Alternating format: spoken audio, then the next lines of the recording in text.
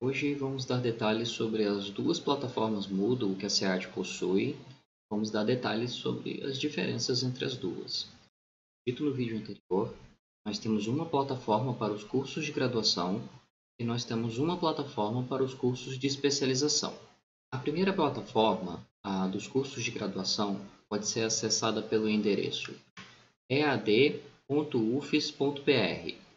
e para fazer login e ter acesso a essa plataforma é preciso ter o login único da UFES. Com ele em mãos, aí sim é possível entrar nessa plataforma e fazer acesso aos cursos.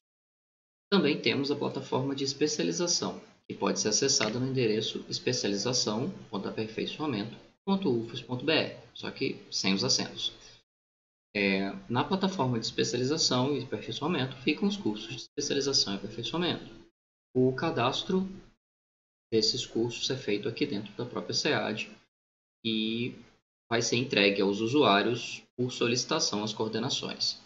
Okay? Então, ficam os dois acessos para as duas plataformas. ead.ufs.br para os cursos de graduação, especialização.aperfeiçoamento.ufs.br para os cursos de especialização.